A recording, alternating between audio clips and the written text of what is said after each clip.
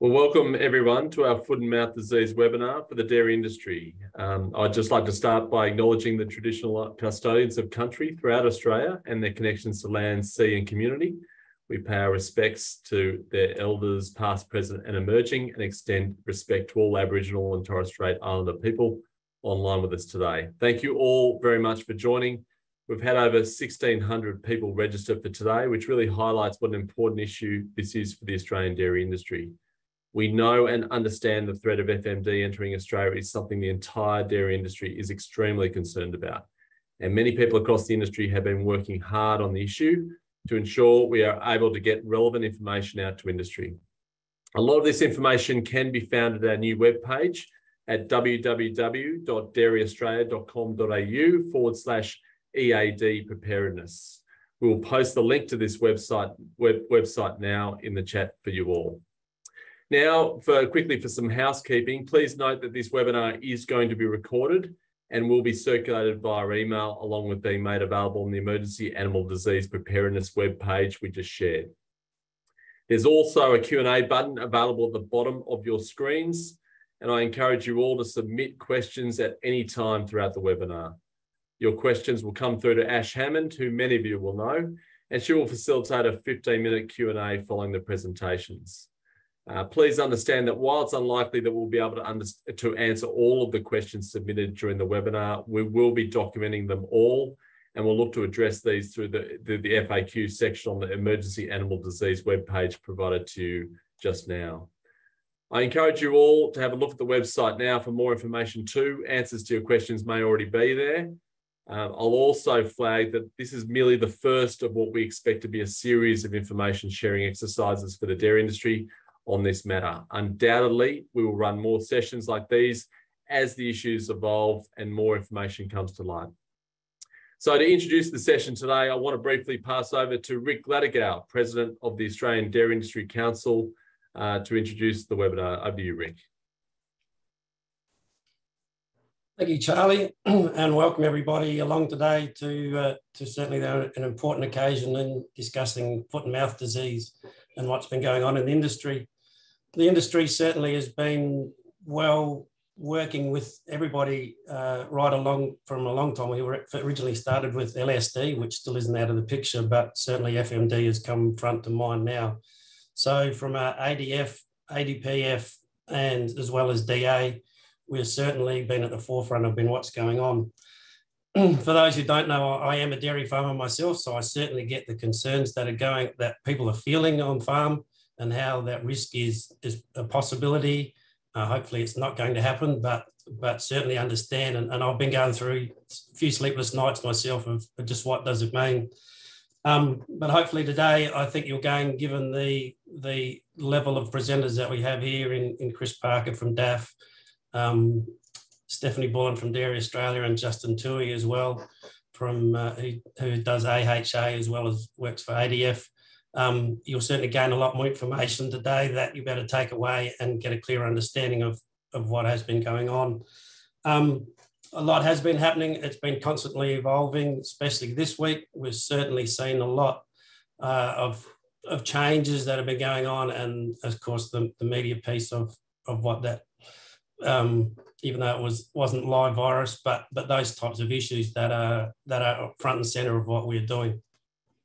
So I hope you all gain much needed information today from this, and I wish you all the best on your own farms. And uh, as Charlie said, we certainly will run more of these webinars as time goes on as well. So I wish you all the best and, and thank you. Thanks very much, Rick. Um, so to get us underway, I'd like to firstly introduce you to Dr. Chris Parker, head of the National Animal Disease Task Force within the Federal Department of Agriculture, Fisheries and Forestry, and Chris will provide an update on the government's response to the current biosecurity threat. Thanks, Chris. Thanks, Charlie. Uh, really good to uh, be here and participating in this. I, I think this is about the uh, fifth or sixth one of these that I've done across a range of industries, and uh, it's really good to be joining you today. Um, I thought what might be useful, Charlie, is we just have a quick discussion around what these diseases are. Um, lumpy skin disease was uh, detected in Indonesia in March. Um, the department stood up a task force of which I'm the uh, head of that task force, and uh, we started work on a uh, national preparedness plan. The National Preparedness Plan went through a number of iterations. Um, we've had three uh, quite large uh, uh, roundtables with industry and state governments around uh, the activities within that preparedness plan, um, and and that's those preparedness activities are progressing really well, and we're starting to get a very clear understanding of the work that's going to be involved, also the work that's already been done in the lumpy skin space. Um, Clearly, in uh, in in May, uh, we saw the diagnosis of uh, foot and mouth disease in uh, in Indonesia. Um, that necessitated uh, our belief, given what appeared to be quite an uncontrolled nature of that uh, that infection, that we need to step up measures at the border. Those measures were stepped up, um, and we then saw in July, early July, the announcement of it being in Bali and that necessitated for us a further step up. Um, I've had this question asked to me many times, um, and it's around we've been dealing with countries around the world who have had FMD, and we've been doing that for many, many years. And in fact, you could argue that's why the biosecurity system or the quarantine system, as it once was, um, was set up. Um, really, the difference with Indonesia is, is the moment um, it's uh, it's it's uncontrolled, and uh, the Indonesians are putting a significant amount of work into controlling that disease. But while they're doing that, uh, the government's had some uh, uh, views, and I think those views are shared by most in industry that we need to be stepping up uh, the activities we're doing the more, at the border. Um, these two diseases are similar um, but different. they're similar in the fact that both of them will affect have a high morbidity, meaning a large number of animals will get infected, and they have a low mortality, means usually a, a low number of animals will be uh, will die from these diseases. That's a little bit different to something like African swine fever in uh, in pigs, which has both a high morbidity, lots of animals get it, and a high mortality. Most who get it die. So just so we can understand, so the other reason they're similar is um, whilst they don't have a, a significant uh, mortality, they do cause uh, significant drops in production. And particularly for the dairy industry, is that relevant because uh, both of them have uh, particular effects uh, given animals are ill with fever as far as uh, milk production dropping off. And certainly the experience of the dairy industry in Indonesia, uh, there's been a significant uh, reduction in the amount of uh, milk being produced uh, from the dairies that do exist, even though there's not that many of them there. Um, the other thing that these diseases are similar about it, both have significant negative trade effects for Australia. Uh, lumpy skin disease, and we've estimated just in the first year, uh, would cause a loss of about $7.4 billion worth of trade. Um, and foot and mouth disease, I'm sure you've all seen the figures, $80 billion over 10 years. So these are significant trade uh, restrictive diseases for us. And uh, I can tell you, spend every waking hour and probably some of the sleeping ones doing everything we can, certainly everything I can, to make sure this disease is uh, kept out of uh, of Australia. So that's a bit of a background of these uh, these particular diseases. And now it's probably worth me going through um, how we are responding um, as a federal government. Um, reminding everyone, of course, that uh, uh, uh, biosecurity is a shared responsibility, and as the minister has said on many occasions, he's stepping up um, and we're stepping up to ensure that we are doing our part um, in that shared responsibility. So I'll talk about this in three, uh, three ways. The first is what we're doing pre-border. The second is what we're doing at the border. And the third is what we're doing post-border. So pre-border is the work we're doing in Indonesia. Um, and uh, last week, the minister actually visited Indonesia, met with the agriculture minister and the disaster minister, um, and uh, and also met with uh, a range of Indonesian industry as well as uh, those uh, in Australian industry. Fiona Simson from the National Farmers Federation uh, accompanied me on that visit, along with a number of senior officials. The work we're doing in Indonesia, uh, we provided uh, lumpy skin vaccine quite early, um, and that lumpy skin vaccine is being rolled out. We provided uh, just very recently a million doses of foot and mouth disease vaccine, and that vaccine is being rolled out. Um, and we provided a number of other technical support. around their ability for their labs to cope, um, and that work's being done. Support uh, epidemiologically uh, as far as disease mapping and uh, what that might look like. Um, support in uh, their desire to produce vaccine locally, and we've uh, identified technical experts to be able to provide them with assistance.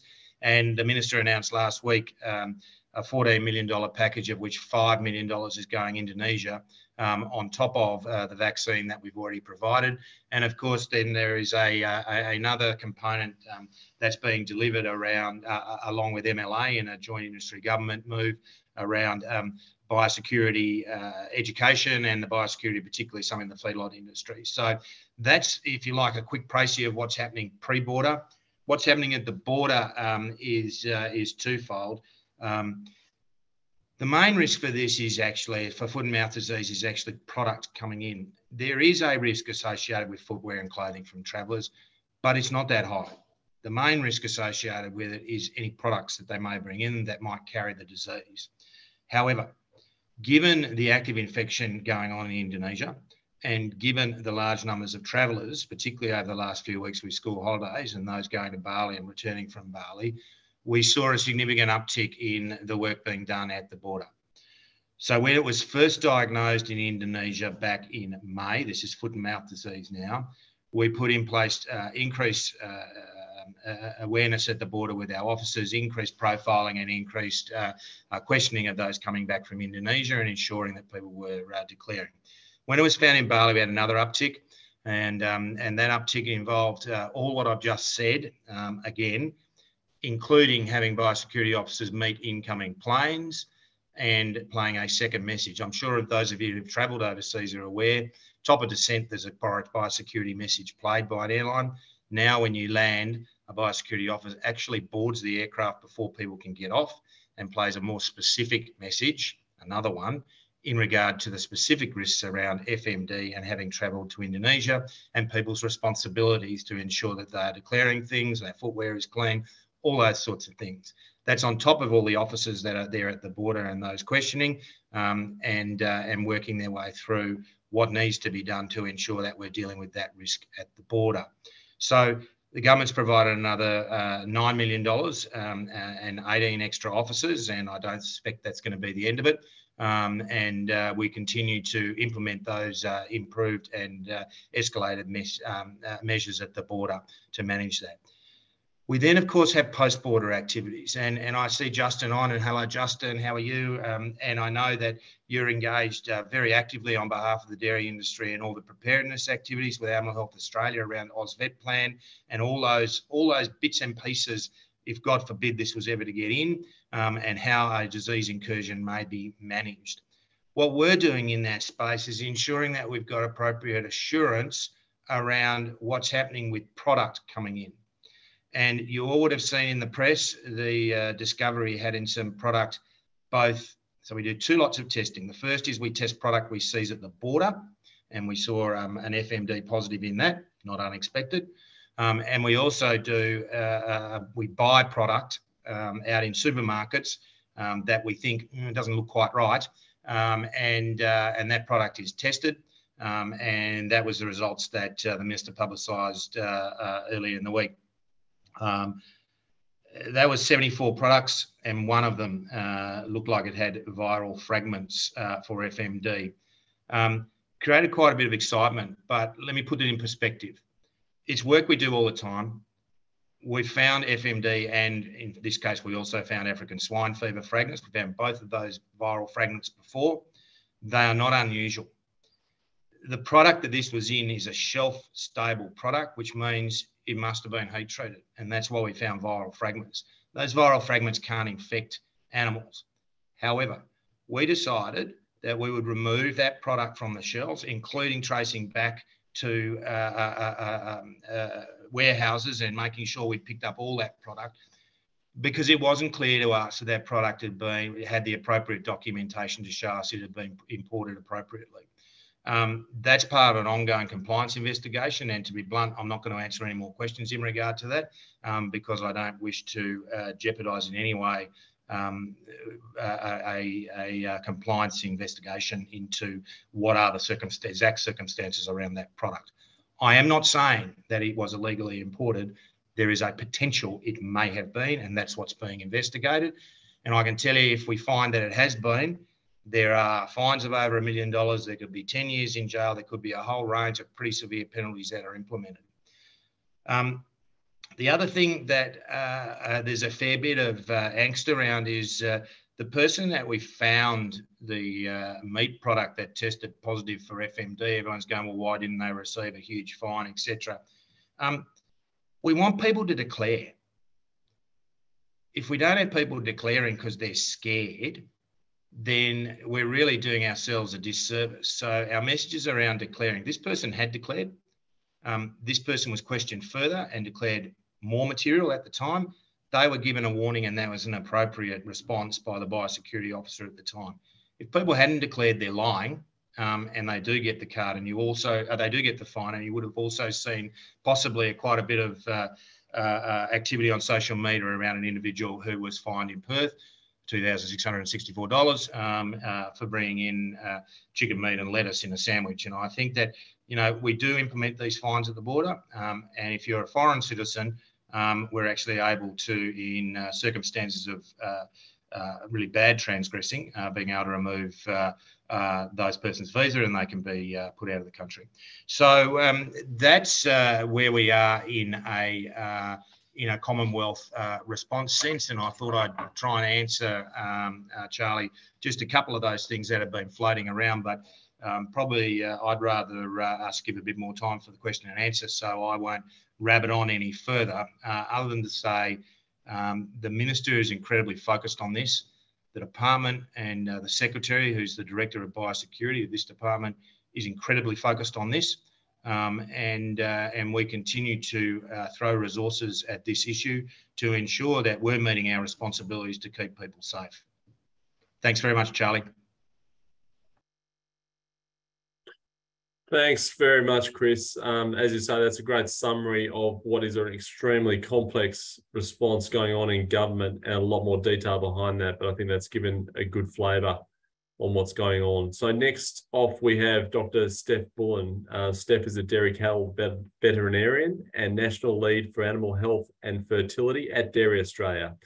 And Steph will give us an overview of what dairy farmers can do right now to increase to increase biosecurity measures on farm, which I know from the questions coming in is already a key question on everyone's mind. So over to you, Steph. Great, thanks, Charlie. Um, so thanks everybody for joining. Uh, so the focus of my session today is really just to run you through uh, some of the key things that you can do to protect your farm. So within Dairy Australia, uh, I work predominantly in the research, development and extension side of the business, um, but we also have a specific policy team of which uh, Charlie and Ashley, who you've met uh, on that team, and they work closely with Australian dairy farmers and the relevant authorities um, and Chris as well um, on some of the bigger picture things that Chris has already spoken about. And Justin's going to talk more specifically about what would happen in the case of a, an emergency animal disease incursion uh, next. So as I said, the, the focus for my session really is on farm. Um, and as Charlie said, it's just a first cut um, of what you need to be thinking about now. Um, and there will be more information uh, to come out soon. So all the information uh, that I'm going to discuss today uh, is available on Dairy Australia's Emergency Animal Disease Preparedness page on the Dairy Australia website. So on the screen, you can see that um, the quickest way to get to that page is dairyaustralia.com.au forward slash FMD. Now, I actually feel pretty lucky uh, to be bringing this to you, and I really care about uh, this not just because it's my job to care, um, but because we also have a dairy farm in Nambrok. And this is a photo of our herd uh, that I just took a couple of days ago. I want to be very clear that my presentation today isn't about putting the onus for FMD control onto you as farmers, but realistically, the measures that we put in place on our farm are largely the only things that we as individuals and individual businesses really have control of. So one of the first and foremost things that you can do is very clearly understand the signs of both foot and mouth disease and lumpy skin disease and know what to do. So the first signs that you might detect on farm could actually be relatively subtle and non-specific. So it could be a group of sick cows um, or even a single sick cow. It could be a cow off her milk or not eating. Um, it could also be a lame cow, or it even could be a sudden death, particularly in calves for foot and mouth disease.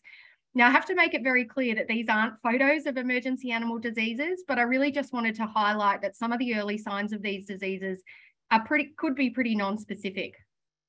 So what happens if you uh, suspect um, or, or, you're concerned about your animals? Um, you might draft her out to take a bit of a closer look. So, so let's say you've, you've noticed a cow in the herd that you're a bit concerned about. Um, if you've got FMD, uh, one of the things that you may see is blisters on the tongue and in the mouth. So in this case, um, you can see here uh, the blisters on, on the back of the tongue there.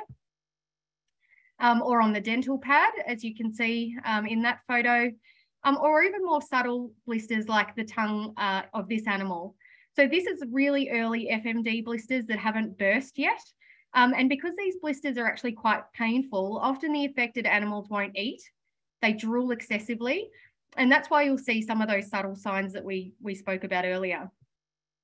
An important one for dairy farmers that perhaps hasn't been touched on much uh, in some of the other uh, webinars is uh, that you may also see these blisters on the teats of affected cows when you're milking. Um, and this is a photo taken in Nepal by one of my colleagues, Greg Duncan, uh, while he was on an FMD training course in Kathmandu. Um, as the name suggests, foot and mouth disease doesn't just affect the mouth, um, and one of the one of the initial signs you may see is is lameness. So if you pick up the foot of a lame cow, you may see blisters and sores on the feet, um, and this photo here is is a photo of an FMD lesion. You may also see uh, lesions around the coronary band at the rear of the claw, or even uh, between the claws here. Um, and you could even see signs around the front of the claws. So as you can see from these pictures, particularly the lesions on the feet can look a lot like many of the other lameness conditions that we typically see on farm. Um, and if you see anything at all that looks even remotely suspicious for FMD, it's just so, so important that you call the emergency animal disease hotline. So that number's been on the screen for my last few slides. Um, please stick it in your phone. The phone number is 1800 675 888 one of the things that I really want to emphasize um, is that by calling the emergency animal disease hotline number, it doesn't automatically mean that your animals are going to be destroyed.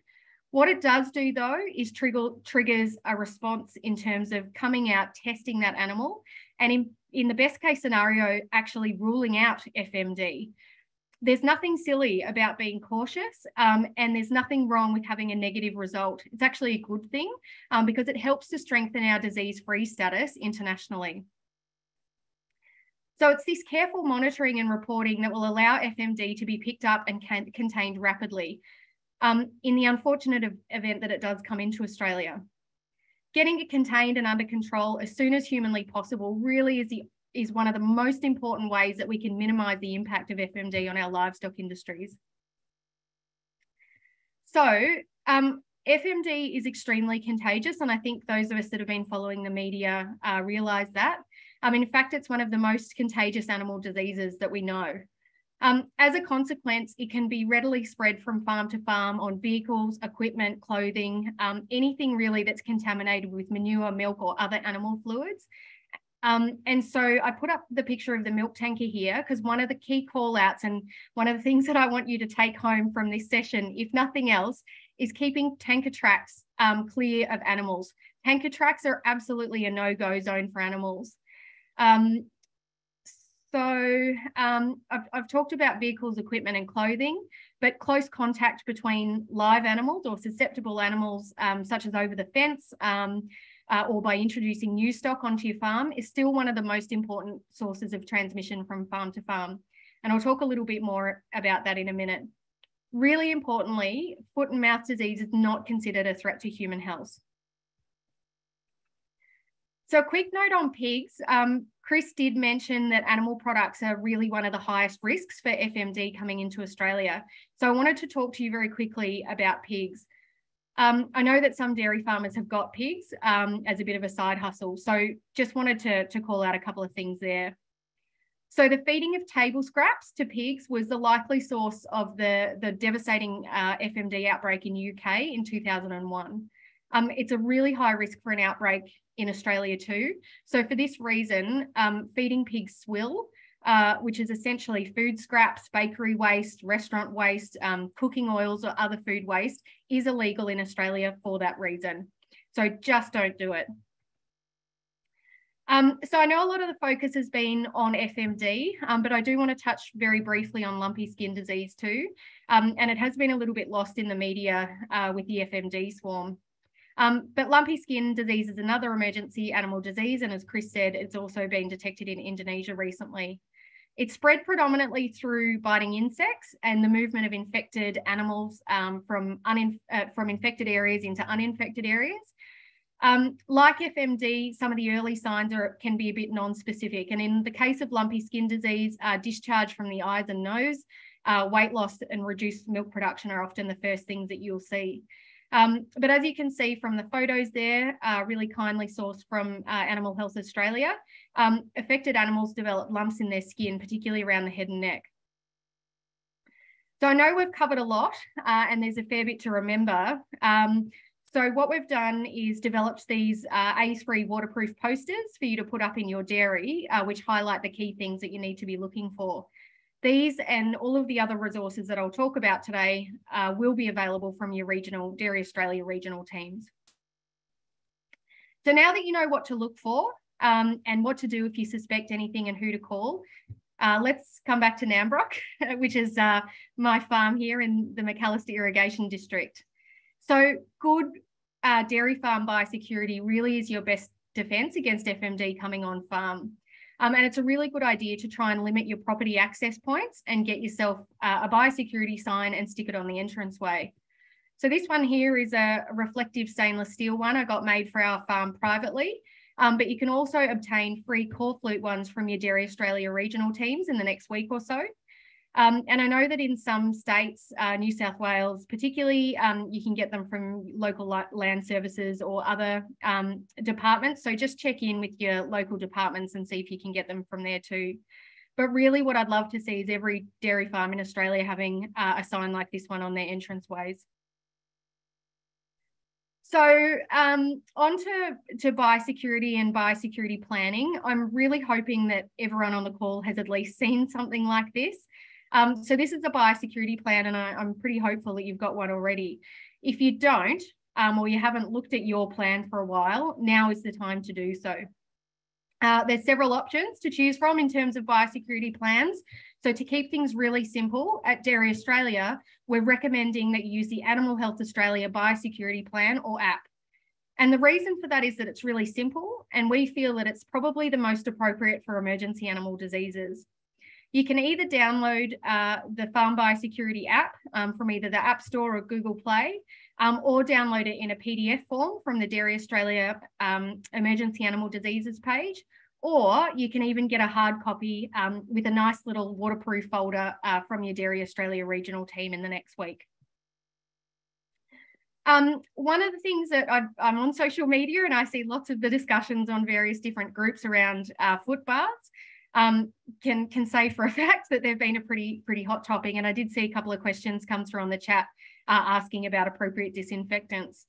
So what I want you to remember is that foot baths alone are not going to protect your farm from an emergency animal disease. They need to be used in conjunction with a whole lot of other biosecurity um, measures that hopefully you'll identify by working through your biosecurity plan. As I said earlier, uh, mud, manure, dirt, all reduce the effectiveness, um, uh, sorry, mud, manure and dirt, um, all reduce the effectiveness of the chemicals that we use in foot baths. So you need to scrub your boots with uh, water and detergent first to remove any gross contamination, then disinfecting your chosen chemical. Um, it is important to um, ensure that you're using the right chemical and a chemical that's effective against FMD. So I've specifically put here a QR code and I'd encourage you to quickly whip out your phones and scan the QR code. Um, this links to an APVMA list of products uh, specifically for disinfection against FMD. And it includes the dose rates and some of the precautions around safety and, and other things such as corrosiveness, etc. Um, I think it goes without saying, you do need to check the label and the dose rates. Um, all disinfectants uh, need contact time to work, so don't wash it off your boots after you apply it. And finally, um, you do need to regularly refresh those foot baths um, to ensure that the chemical stays active. And I am on farm next week uh, to film an instructional video um, to support this information, and that will be available on the Emergency Animal Diseases webpage as soon as possible. Uh, so in terms of traceability, um, we know that this is really critical in terms of being able to uh, uh, halt a, an outbreak as soon as possible if, if FMD was unfortunately to come uh, into Australia. So Dr. Megan uh, Scott from Agriculture Victoria sent me through this image earlier in the week. Um, in blue, uh, you can see the stock movements into Victorian sale yards um, and in red out of Victorian sale yards. And that was just in a six day period last week. Being able to uh, produce this information and accurately is just so critical uh, in order to rapidly contain an outbreak. And it really highlights why the NLIS system is so important. We do know that there are still lots of instances where the NLS NLIS processes aren't done well. Um, and I really urge you as, as farmers and as industry stakeholders to do your bit to make sure we get this right. Um, and that includes, you know, correct use of, uh, of the NLS tags and vendor declarations. So in terms of uh, overseas travel, uh, staff and visitors, um, so I can tell you that uh, David Inall and his team at Australian Dairy Farmers, as well as the Dairy Australia Trade and Strategy team have been working really hard with the relevant government authorities to make sure our industry concerns and needs are being heard. But remember that the purpose of my presentation is really just focusing on what we can control on farm. Um, and to protect our farms, DAFF has recommended that anyone that's travelled to Bali or Indonesia doesn't come on farm for at least seven days after returning. We've actually gone a fraction further and we are recommending that this should extend to any countries that are not uh, declared FMD free. So there's a list of these um, FMD free countries. So the exclusions, those countries are listed on the Emergency Animal Diseases website. Um, so countries like New Zealand, the UK, Canada, among others, are okay. Um, but if the country doesn't appear on the list, we suggest, suggest that you really do take extra care. In addition, uh, it's part of a sound biosecurity plan uh, that you have all visitors and staff um, that come on farm complete a risk assessment. So uh, they'll either be um, low, medium, or high risk. And if they're either medium or high, uh, manage those visitors accordingly. Um, so this uh, extends to, to people like milking machine technicians, stock feed delivery trucks, vets, factory field officers, and, and the like. And I know there's quite a few service providers on the call. Uh, what I would suggest is that if the farm that you're visiting doesn't do a visitor risk assessment, uh, that you do one yourself. And again, downloadable from the Dairy Australia EAD website um, and complete a risk assessment and provide that to the farm that you're visiting. Um, so in terms of more information, uh, I, have mentioned this a couple of times, but Dairy Australia does have an emergency animal diseases um, uh, preparedness page. Um, and everything that I've mentioned in today's presentation is available on that page. The website is www.dairyaustralia.com.au forward slash FMD. And as well, um, the hard copies of all these resources, including biosecurity gate signs, the waterproof posters, uh, biosecurity plans, uh, will all be available from your Dairy Australia regional teams in the next week or so. And I really want to again highlight that this is just the first stage um, of our response to this, and we're working incredibly hard behind the scenes to make sure we continue to bring the information and tools that you need to keep your farm safe.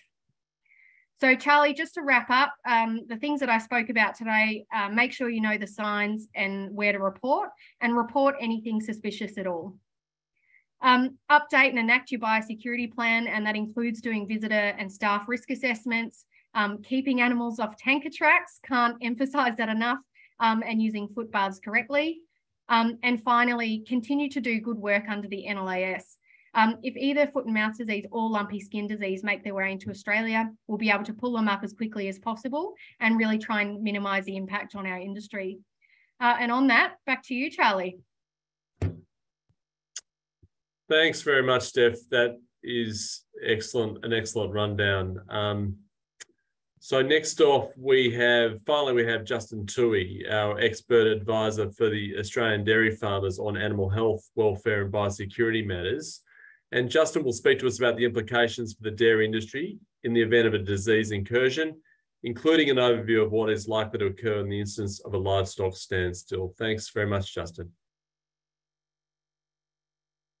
Thanks, thanks, Charlie, and thanks, uh, Steph, for an excellent presentation on the practical nature of this disease um, or the emergency animal diseases. I'm going to focus my talk on FMD, uh, so not touching LSD, and really cover uh, uh, quite a bit to do with the documentation and the process through which the industry goes in, in reaction to a finding. So, um, is that? I'm sorry, I'm just trying to advance. There we go. So, what I'd like to cover today, just quickly, and there's a lot behind this you can imagine so questions are going to be important and i'll i'll really skim across the surface but the sort of documentation that we have in place already in preparation for incursions of emergency animal diseases uh, what we do when an fmd is suspected in australia and the governance that um, with the decision making process there the third thing is once fmd is confirmed or over, there's overwhelming evidence to indicate it's here the national livestock standstill is put in place, and I'll talk a bit about that. And finally, the, the what we call stages two and three. So stage one is the national livestock standstill. Two and three is when we've confined the foot and mouth disease outbreak to a particular area, and we can move on from that. Um, regarding the, the, the, the, documents, this is a little bit of a boring part, but I thought it's quite worthwhile to give you some history to it. So We've actually, as a country, been preparing for this since 2002. The Emergency Animal Disease Response Agreement, or EADRA, commonly known as, is, a, is, a, is, a, is an agreement between all the governments of Australia, federal and state territory, and 14 industry bodies, including Australian dairy farmers. And it sets out some very broad rules, I guess, around how we deal with emergency animal disease responses. And uh, it covers things like um, the funding formula, um, um, managing the response. It categorizes the diseases into one of four categories. So it covers 66 diseases right across the animal industry. Category, category one diseases being the most important for human health because they are zoonotic, down to category four diseases, which are entirely funded in terms of um, by the government, by, by the industry, I'm sorry, in terms of uh, reaction underneath that sort of broad umbrella agreement are, are, is the AUSVETPLAN, which sounds like a single plan, but it's actually a series of manuals uh, that are constantly developed and updated that cover the preferred approach to responding to an incursion. And the sort of manuals that I'm talking about here in relevance to the dairy sector are the FMD manual, for example, uh, response manual, the valuation and compensation manual, and the Dairy Enterprise Manual that's currently in draft form. So you can go to the Animal Health web, website there that I've written down the bottom to see the, the manuals. There's an enormous array of them. And uh, they, they focus, as the, as the name indicates, specifically on a particular component of the response. A number of us have been in Canberra this week to update the foot and mouth disease and the lumpy skin disease manuals. So they're constantly updated, and these are managed by Animal Health Australia. So they really set the, set the scene and advise chief veterinary officers and others to uh, establish a response plan. And um, they certainly will, having having done it preemptively, cut a lot of time and panic out of the process. So they've been in place a long time, and we we consider we're kind of as ready as we can be. I've just put here. This is a little hard to read, but it's kind of the decision making process we, uh, that goes through when foot and mouth disease is suspected. And it, it starts with the sort of stuff Steph was indicating, where you may see as a farmer um, some symptoms that are suspect in some of your cattle. And the idea is to ring your local vet or get onto the, the uh, exotic, the emergency animal diseases hotline and report report that as soon as you see it. It's really, really important that reporting is done as soon as possible. And as Steph pointed out, a negative is great news and it's equally important so we can uh, continue to underpin our freedom. But um, any, any delay, a day's delay in reporting can cost the industry millions overall.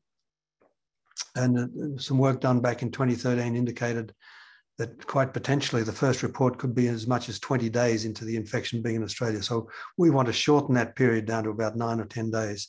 So if you see anything suspicious, please proceed. Um, the, uh, the chief veterinary officer of your state or jurisdiction will, will uh, start preparing for emergency disease response, will uh, orchestrate samples being collected and sent off to the laboratory down in Geelong at the what was the Australian Animal Health Laboratory and now is the Australian Centre for Disease Preparedness. Results come back, and if confirmed, um, some a few things get clicked into place. There's a formation of a group called the CCEAD, which is the Consultative Committee for Emergency Animal Diseases, and that'll be the technical people who advise on where to go with um, from day one, uh, and then they pass that advice on to what's termed the National Management Group. And Australian Dairy Farmers represents the dairy sector on both those at different levels. We have vets already established to go on the CCEAD, and uh, Rick, the chair of, uh, of ADF, and will will be sitting on the National Management Group to provide advice. They then consider whether uh, it, the uh, whether to call a national livestock standstill, and here's where it gets particularly interesting for the sector. Um, if it's confirmed, then or strongly suspected to be confirmed, uh, a national livestock standstill is called. Now, what does that mean? That's we call this stage one. So stage one is pre is the very first thing to do. Stop everything moving around the country. We then go to two and three, which I'll come to shortly, which is about okay, we've got the disease established, we know where it is, and we'll put some boundaries around. But I'll come to that. The idea of the standstill is to restrict the disease spreading enable uh, trace, tracing, and you saw from Steph's um, table from Megan that uh, the amount of movement per day or per six days, you can imagine what that's been like for 20 days around the country. So it enables us to trace where the disease has come from and where animals have gone to, and to find the extent of the infection. Um, it also gives the CVO and the CCEAD that I've just described time to prepare the zoning uh, once they determine where the disease is. And there is a livestock in transit matrix that's applied. And obviously, it's a very common question. What do I do with a national livestock standstill when I have animals on the road? And th- there's quite a complicated matrix. Um, and that's it. It's a little bit hard to read, but I'm just indicating the complexity of it. This was actually done in about 2012, and it's a, it's due for, for for revision. But it's that is a guide for what you do when animals are going from source A to source B. But generally speaking, I, would say for the dairy sector, if the journey is less than four hours or they're beyond halfway into the journey, the intention is to continue the animals through to the point of destination and then shut down from there. But make sure records are kept for all that. So what we really want to do is is, is halt the movement of livestock around the country uh, while while we can sort out where the disease is because it's so infectious, so transmissible we need to need to do this. Um, the national livestock standstill is called for 72 hours minimum. That's three days minimum. It can be, and most likely would be extended beyond that period. Um, but 72 hours is most is most likely, particularly in the states. It might even stop after 72 hours in states that are quite clearly shown to not have the disease. So what do, what do you do as a dairy farmer in an, a national livestock standstill? You know, tomorrow if it's called, what does it mean for you? Now I've covered a couple of issues here. Steph's covered a few. It's quite a lot of lot to be involved with, and certainly questions will cover this. Uh, we'll cover this in the question time. Number one, restrict livestock movements, but very importantly for dairies, milking will continue. It, you, we cannot assume that we can just stop milking over just like that. Clearly, it's a welfare issue milking continues, but you do need to put in place the biosecurity. Uh, one would hope you've got biosecurity in place now, but really ramp it up. And, and things like um, restricting the effluent on public roads. Try to walk your animals down the side of the road rather than over the rather than along the road if you can, if it's a public road. Uh, Steph talked about tanker routes, the tanker tracks on the farm. No, no cattle there, no manure there. Keep effluent away from that area. Uh, allow and be aware of the need for tankers coming on board and, and off property to wash and disinfect. Um, record all vehicle and people movements. This is part of your biosecurity planning, normally in biosecurity arrangement should be, but this needs to be ramped up. Only allow essential visitors on farm and use your property vehicles. So leave their vehicle at the front gate and only use yours to come on board and off. I noticed in one of the questions about uh, having different sets of clothing on farm from uh, on to off, and the answer would be yes, that'd be very, very sensible. Raw milk should never leave the farm. Uh, so, so if you are, um, uh, I'm sorry that I should qualify that. Raw milk should only be fed to calves on on farm, um, and, and observe biosecurity practices. When I say milking continues under point one, clearly the tankers have to come in, collect, and leave.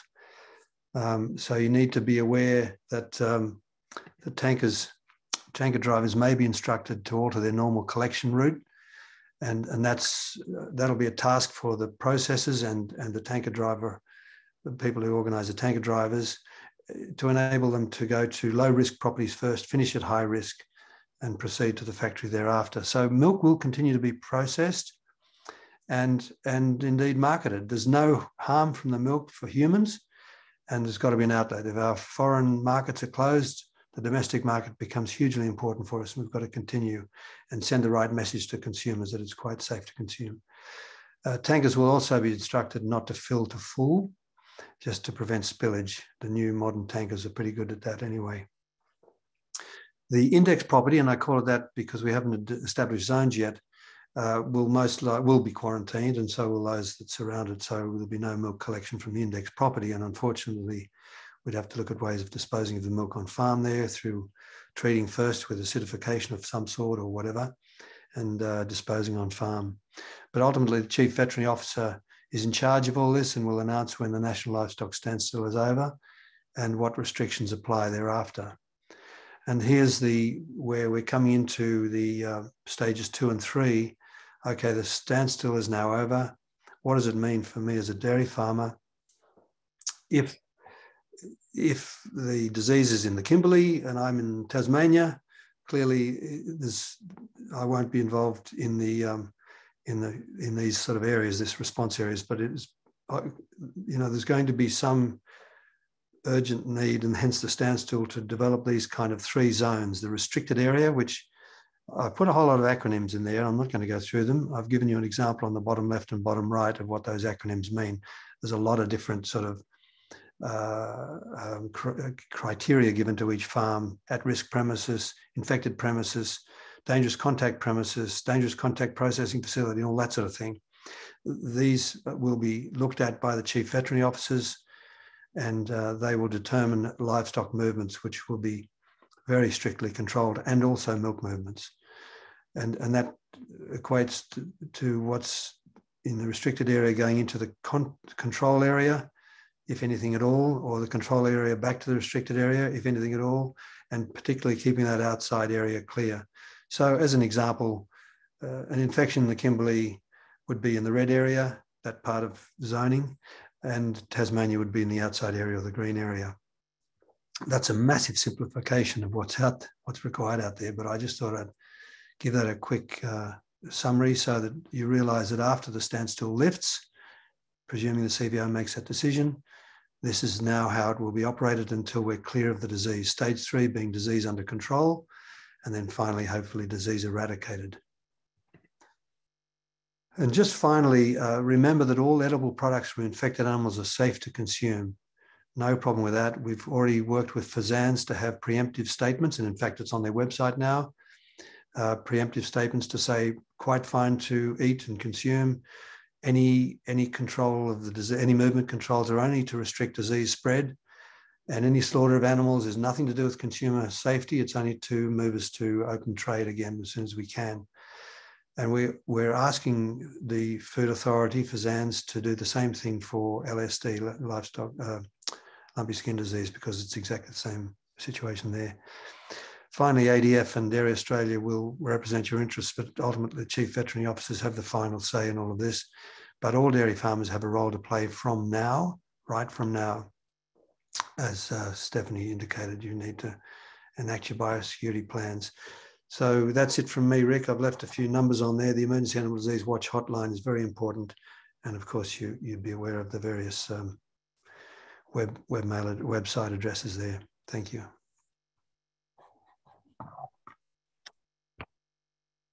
Thanks very much, Justin. Um, a lot of complexity in that, as you say, but thanks for that that top line summary of of the situation in the event of a standstill. Um, listen, that's uh, now's the opportunity to address a number of the the key questions that we've received throughout the, the webinar. And to help with this session, I'll hand over now to Ash Hammond, who's been monitoring the incoming questions. We'll highlight some of the common questions and, and themes that have been, have been emerging that uh, hopefully the panel will be able to shine some light on. So over to you, Ash. Perfect. Thanks, Charlie. Um, so, Chris, I'm going to start with you. Um, one of the most commonly asked questions that we've had coming through the chat and obviously seen in, in social media and media is why, do, why doesn't the government shut borders with Indonesia until they get the outbreak under control? Because shutting the border is is not a measure that's commensurate with the risk. Um, we've been dealing with countries that have FMD for many, many years, and we've had the safe movement of passengers and goods between those countries. The reason that Indonesia is a little bit different, and the reason that we have had these various upticks in activity is because they've got an active infection on the way. Now, people go, why would you not just shut the border? Okay, fair call, uh, and, and it's a fair question. Only circumstances you'd think about shutting a border is, is one, if we're unable to cope with measures um, that we're implementing at the border, and that's not the case because we are, and we've actually increased measures and increased staff. Or the second would be that Indonesia is making no effort and it's just a rampant, uncontrolled exercise that's going on there with the disease going everywhere. That's also not the case. Although there's 400,000 animals infected, there's now over 600,000 vaccinated, and there's now a very active control program going on in Indonesia. Um, and I think that uh, they've now had a significant uptick since it's moved from the Department of Agriculture now to their Disaster Relief Agency. Um, and what we're seeing is a disease that is now, um, although it is still very active and we remain very concerned, which is why we've kept those border measures in place, you need those two sets of circumstances met that I just described, and they're not met at the moment. Um, and what we're seeing is we're able to cope through the increased measures, including the introduction just this week of uh, foot mats, uh, citric acid foot mats at the border. And uh, I'm advised that uh, they have now been delivered to a couple of airports and will be installed the next day or so. So, as we see practical measures that make sense, they're being implemented. Um, and, and that's the way that we've been managing the disease, as well as continuing to assist Indonesia in their control efforts, as well as ensuring that what's happening post border is in the best possible space. Great. Thank you. Um, Steph, I'll put this next one to you. Should dairy farmers be supplying gumboots and wet weather gear for, for example, relief milkers to be used solely on, on their individual farm?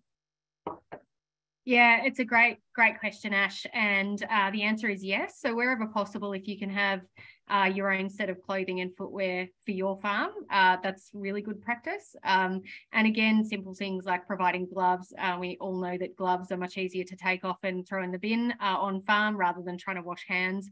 Um, the other thing is, as I said, it's really important to have uh, both visitors to your farm complete a risk assessment, but also um, your farm staff. So um, things like owning, um, you know, uh, susceptible animals at home, etc., can increase the risk. Um, so it's really about identifying, you know, what is the what is the potential biosecurity risk around these people, and what are some of the things that we can put in place to really try and minimise the risk. And yeah, as I said, um, own set of of uh, boots and, and clothing that that stay on farm um, is a really really good good suggestion. Perfect.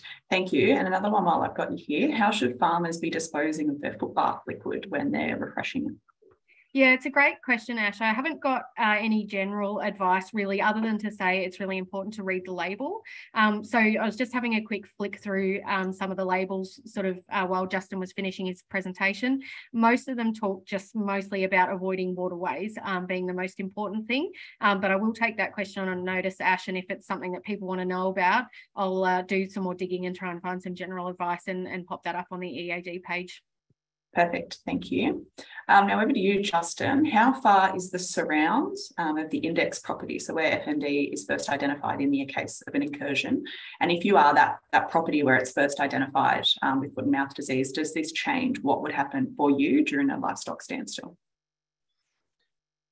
Uh, the it's hard to answer definitively the, the, surrounds. It's really over to the chief veterinary officer's uh, uh, uh staff and the chief CVO. So there'll be on-site visits and there'll be checking of neighbouring farms. Uh, but of course, it's really hard if you are an index property to lock the virus in within your within your gate. So, so sadly, it would be a group of properties around probably that would be affected um, in terms of how, of how it affects you as a, as a producer if you're an index property. Um, there's no collection of milk on your property. Clearly, we don't want the disease to spread, so tankers wouldn't be visiting. Uh, I would suggest that there'd be maximum biosecurity requirements on that farm, uh, top level hygiene, uh, and as I mentioned in my presentation, destruction of milk uh, through uh, uh, and denaturing of the virus if possible, and that's often done through acidification. Um, how you destroy the, the milk on farm is is an important consideration, um, and I would, as part of the preparation for potentially an FMD incursion, have farmers just investigate how, what options are available to them for two things. As sad as it is, one is the destruction of milk on farm, and the second would be uh, destruction and disposal of carcasses on farm. Should that event arise, let's hope not, but it just should be part of their pr- preparation. Absolutely, thank you. Um, oh, sorry, and also keep records, because in many respects, you know, the, we come to compensation eventually. You need record keeping of, yep. of instructions. Thanks. Okay, thanks. And while I've got you as well, Justin, I just want you to, there's been a few queries and I know livestock standstill is obviously something people are very interested in. Um, so I'm just wondering if you can repeat, there was a comment you made or you described with regards to animals being on the road for less than four hours um, into the journey, uh, less than halfway, like just the comment around um, what should people be doing if they're on the road for less than or more than four hours? Yeah, it's it's it's it's again not definitive. None of this is definitive, but there is that matrix set up that I did flash up for a brief moment that was established in 2012 as a means of trying to get some definitive question, uh, answers to that exact question. That matrix is being reviewed. Um, it's it's it's much more fluid now, I suppose, but it's it, it is essentially around number one controlling the disease, number two being conscious of the welfare of the animals, and number three, being conscious of the welfare of the drivers and and the, and the people involved. Um, and it may well be that um, it's better to move the cattle continually onto the destination as part of the disease control, and then lock them in there, and just note that uh, in the trace in, in tracing tracing records that that's where they've gone, rather than turn them around and go back. Particularly if the trucks have multiple um, consignments on board. They can't go back through multiple properties to deliver. That's just not going to be allowed. So it is it is difficult for the truck drivers who are sitting on the side of the road knowing what to do. My suggestion was if you are actually physically a truck driver and had to pull over because you've heard on the radio or somebody's rung and said stop, get onto your um, get onto the authorities as quickly as you can and tell them where you are. I think there'd be instruction given fairly quickly to get them moving. Great. Thanks, Justin. Um, Chris, back to you. So how long, if, if there's a suspected case of FMD in Australia, how long does it take to test that animal? Um, and just another one I have seen coming up a lot and it has come through the chat as well. Is there a shortage of vets in regional Australia to respond to an outbreak? Um, so it's it's impossible for me to answer both of those questions. The first question, how long does it take to get someone? Well, if you've got a sick animal, you should call your vet. That vet will come and test. If they've got a suspicion it's a it's an exotic disease, they it's it's it's um, uh, uh, by law they have to notify, righto, and that sample would go off if it's FMD probably to uh, the lab in Geelong, um, and that'd be facilitated through whichever state Department of Agriculture. Um, you know, realistically it would take longer to get a diagnosis in the far north than what it might do is if you're a dairy farmer and uh, in Victoria where the lab is in Geelong. Um, I mean, that's just the realities of distance. So it's very hard, Ash, for me to go, that will be the time frame exactly, other than it would be done as quickly as physically possible um, because it's a notifiable disease and it would require that to go on. The second question is uh, is a far more problematic, and you're talking. You know, I'm a veterinarian. I've worked in uh, in rural mixed practice uh, and, and, did so for a number of years. Um, what what I do know is is um, that we've been speaking with their uh, with uh, the cattle veterinarians. I was speaking with just earlier in the week, and they're getting a, sim, uh, a symposium together where they'll have 300 vets. Um, we'll be looking at, um, I think, um, over time, certainly as part of the preparedness plans, the activities we do around um, where we may be able to source vets, and there'll be a number of sources of those. Our own department's the largest employer of vets. Um, we've got a whole lot of people who are working in abattoirs who have a, uh, as in vets in abattoirs, who have a significant role and are a significant workforce uh, that we can use. Um, so again, it's quite a hard question to ask and answer in a definitive sense, other than um, there are a number of resource pools that we know are there and a number of resource pools that we would use in the event um, of uh, if, if something was to occur, Ash. Great. Thank you. Now, I do know we've just gone off 1 p.m., um, but I think we will continue this conversation for a little while longer. We've still got nearly a thousand people online, um, and we know how important this is. So we don't usually do this, but we will take it um, for a few minutes over. If anyone needs to drop off now, feel free to, and obviously the recording will be available um, on the Dairy Australia website afterwards. So, um, Chris, back to you. We've had a lot of questions coming through around vaccination. So, will the FMD vaccine be readily available for Australia when it's needed, if it's needed? Sorry. And why is Australia not proactively vaccinating cattle now for mouth disease? So, there's two components of that. The first is is around vaccine. Um, we have uh, a, a vaccine bank which is held in the UK that vaccine bank can produce a million doses of vaccine that would be available in the country in seven days. So that's that's in the bank, if you like, and it's there to use. The contract said it will be made up, and we can instigate that contract if and when we see fit. There's the, there is a quite a, a I suppose a simple reason why we do not prophylactically start vaccinating cattle for foot and mouth disease, and that's to do with trade. There are three essentially three statuses that you have in the world as a country for trading. The first would be you have foot and mouth disease you can't really trade with too many countries um, in regard to uh, uh, uh, uh, animal products. And for a country like Australia, where 70% of the animal products produced are exported, that would be a significant problem. The second category is your FMD free with vaccination. That allows you to get to a few more countries, but still not very many. And that would be the status if we started to vaccinate. We would lose market access to a whole range of very large markets. And of course, the third status is FMD free, which is what we are FMD free, no vaccination, no requirement. Outside of the fact that if we started to vaccinate for FMD, we'd have a whole lot of trading partners going, What are you vaccinating for FMD for? Like, you guys don't have it, do you?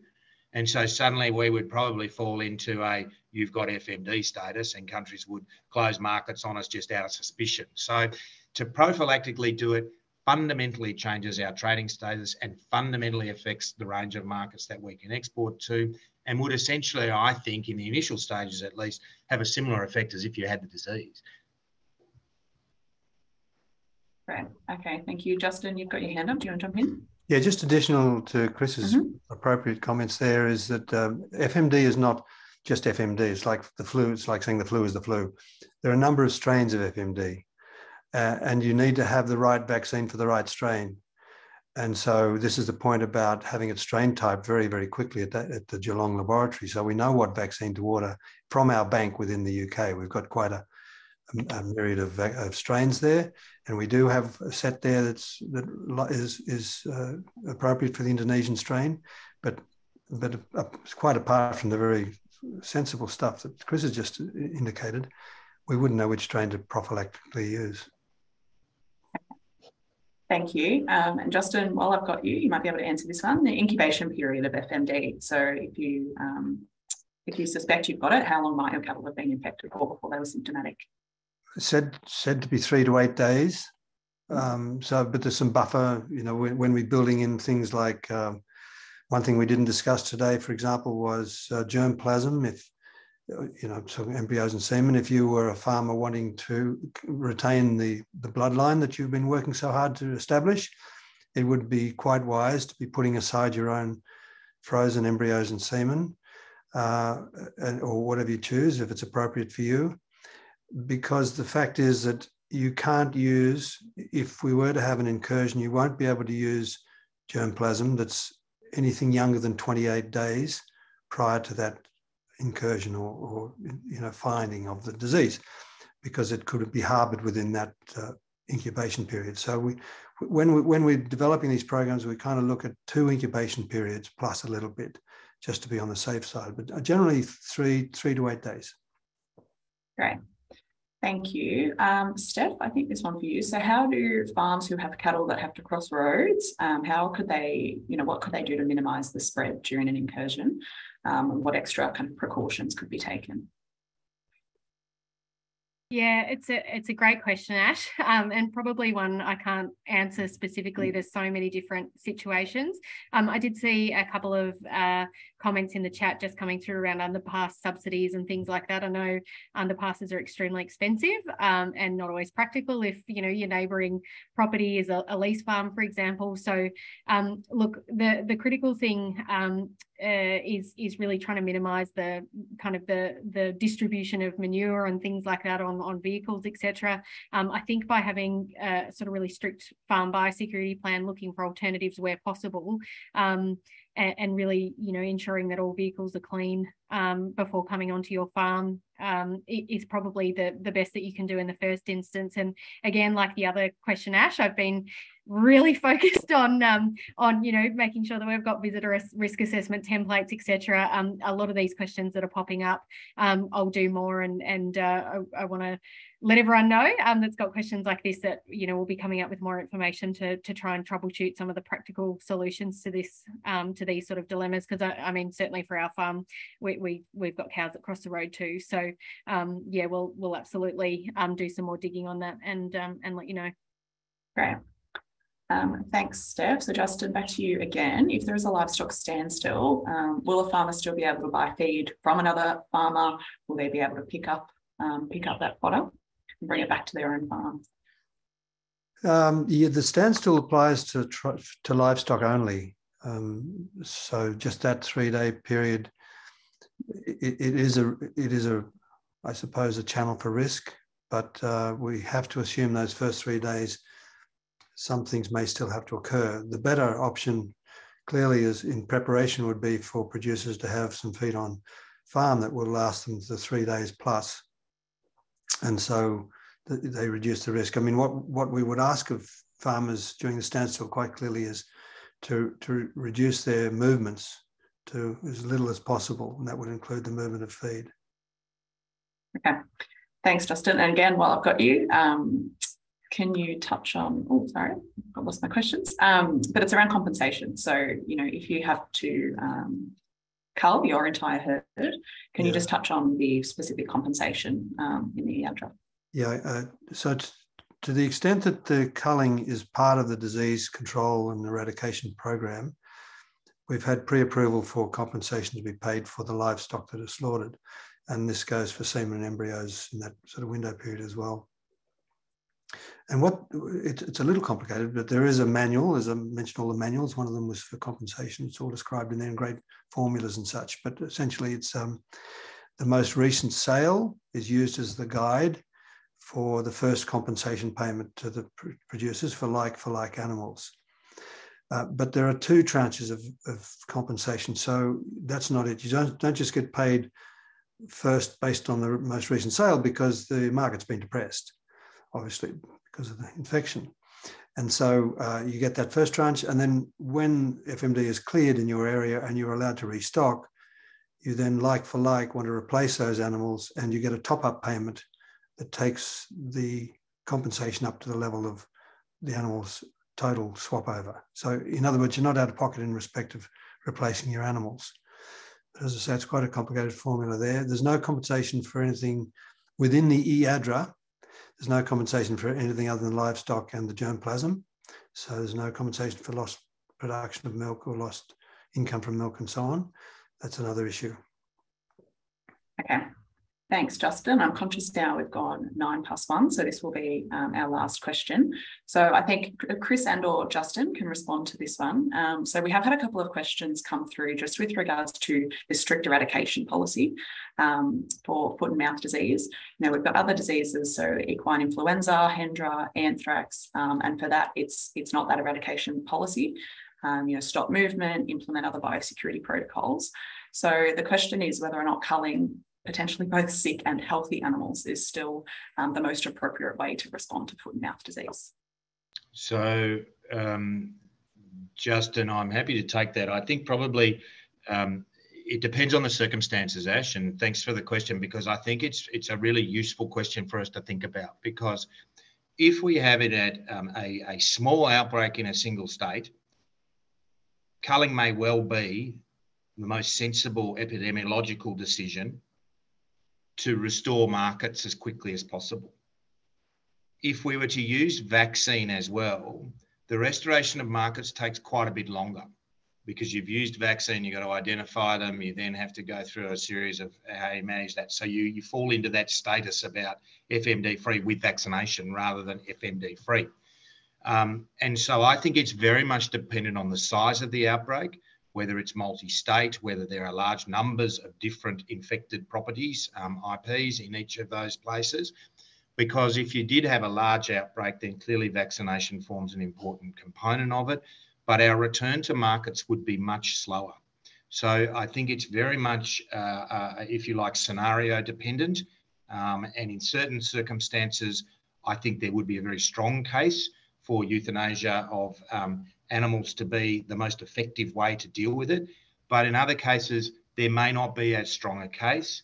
And of course, as I was pointing out today, because there's a, a large meeting with, in fact, Emergency uh, Management Australia and all the uh, jurisdictions to try and socialise this issue a bit, folks. So it's not just us Aggies who have to manage it. Um, we get the assistance we need from the emergency management folk. And we talked there about whether there's even social license these days for uh, for large numbers of animals to be culled and disposed of in, in what will be quite public view. So I think a lot of that will come into the fore at the time, um, but I think there are circumstances where, yes, it'd be good, other circumstances where maybe not a stronger case can be made.